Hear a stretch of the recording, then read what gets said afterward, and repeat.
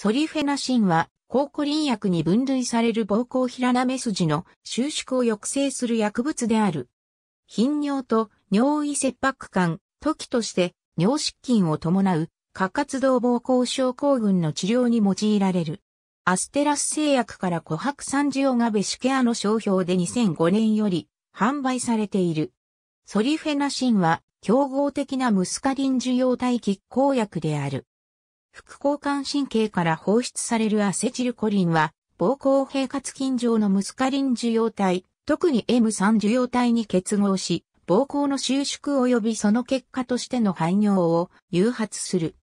アセチルコリンの M3 受容体への結合を阻害することにより、ソリフェナシンは膀胱平なめ筋の緊張を低下させ、膀胱が多くの尿を蓄えることを可能にして、排尿回数、尿意切迫感及び尿失禁回数を減少させる。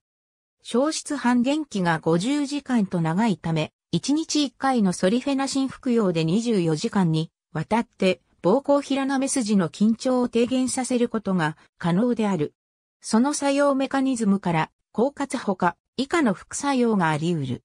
国内で過活動膀胱患者を対象にした1267例中、副作用発現症例は577例で、校内乾燥が358例、便秘182例、キリシ42例であった。腎機能障害の程度によって少ない量から開始される。従来の抗コリン薬に比べて、ムスカリン受容体拮抗作用が膀胱選択的であるため、抗コリン薬特有の副作用は少なくなっているが、皆無ではないため、特に投与開始初期は注意が必要。尿路感染症、尿路結石、膀胱がんや前立腺がんなどの下部尿路における新生物など、事前に過活動膀胱類似の症状を示す疾患を尿検査などで除外し、前立腺肥大症など下部尿路閉塞疾患を合併する患者には、アルファ1遮断薬の投与などの治療を優先する。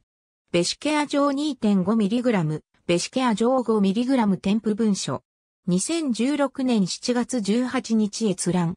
デトルシトール、ベシケア、膀胱選択性を高め副作用を軽減。日経メディカル。2016年7月18日閲覧。ありがとうございます。